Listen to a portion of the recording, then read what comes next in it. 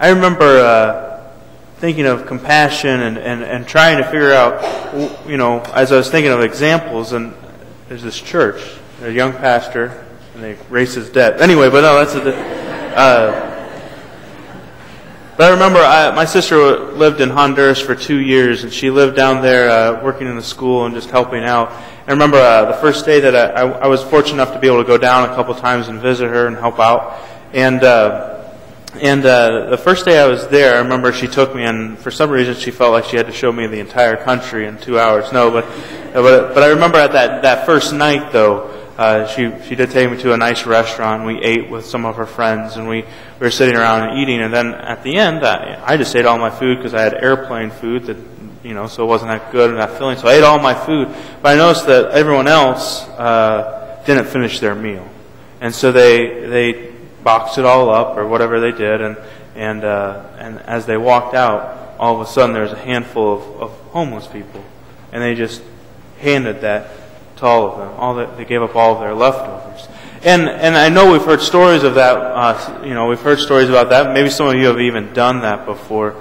But that was the first time I remember seeing that and seeing, oh, they sacrificed half their meal uh, so that others would actually have a, a meal that day you know. And then that was that stood out to me. Uh, that stood out to me a lot. Also, uh, as we look at these pictures, these are high school kids. And in the fall, I think you guys remember we took a group down to Indianapolis.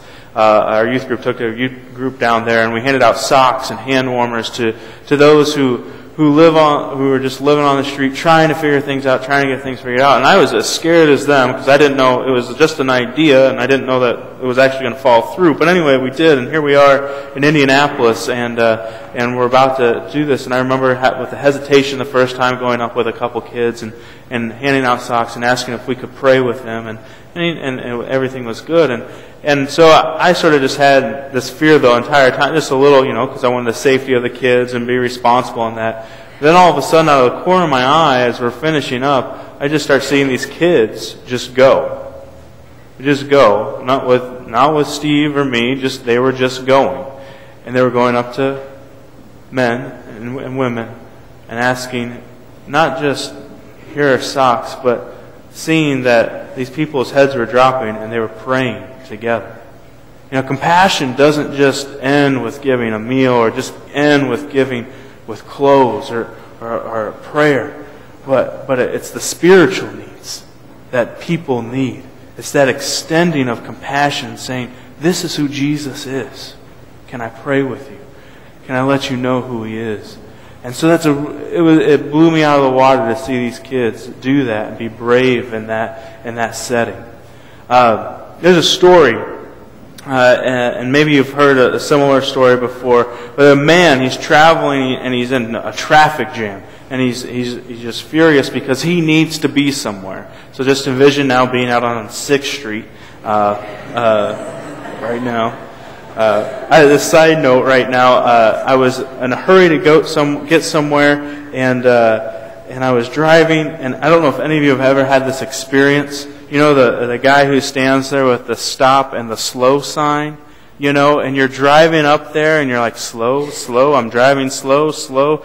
And a truck goes in front of you or a car goes in front of you, and then you just see the walkie talkie to the ear and the turn of the wrist. And you're like, no!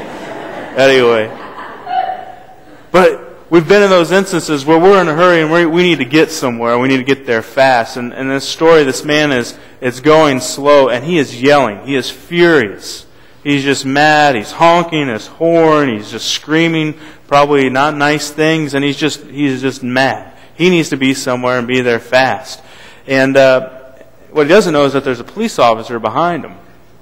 And so as the traffic is stopped, the police officer gets out and goes to the front uh, or goes to the window and says, and this man is just astounded. What are you doing here? Why are you why are you out of your car trying to you know arrest me or whatever you're trying to do?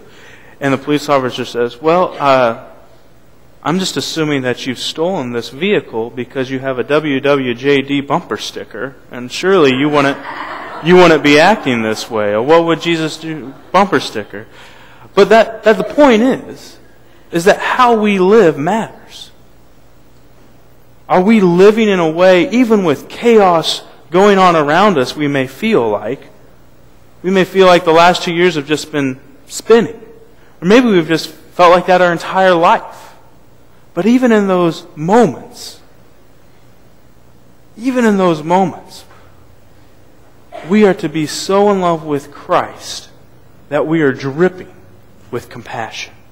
Even when we wake up on the wrong side of the bed and we don't want to talk with anybody for another 32 hours,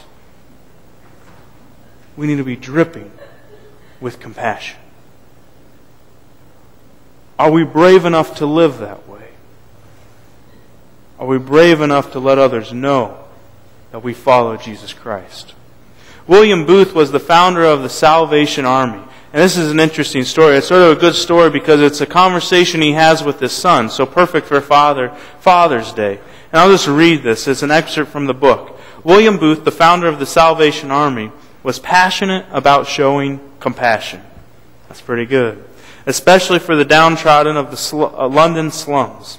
One day, his son Bramwell, do we have any Bramwells here? Okay, no, I'm joking. Never mind. Okay. I hope that didn't offend anybody. Okay. But one day his son Bramwell entered the room early and found his father furiously brushing his hair. Brushing and brushes in both hands. That's what happened to me. Was... but as he was f- frantically finishing dressing for the day, he said, no, no time for good morning. Booth looked at his son and cried, Bramwell, did you know there are men sleeping outdoors all night under the bridge? He'd been in London late the preceding night, and this had been a shocking sight on his way home. Well, yes, said Bramwell, his son. A lot of poor fellows, I suppose. Then you ought to be ashamed of yourself for having known it and done nothing for them, answered William Booth. Bramwell began constructing elaborate excuses. Uh, he could never help in any kind of way. He, he was busy. His plate was full. And this may be something that we have heard from our fathers, or maybe we've heard from someone. But then William Booth said to his son, he barked at his son, and he said, Go and do something. Go and do something. Today, are we willing to take this message of compassion that Jesus taught us? Are we willing to live differently? Are we willing to live with an open hand instead of a clenched hand? Are we willing to go and do something for the name of Jesus Christ? Will you pray with me?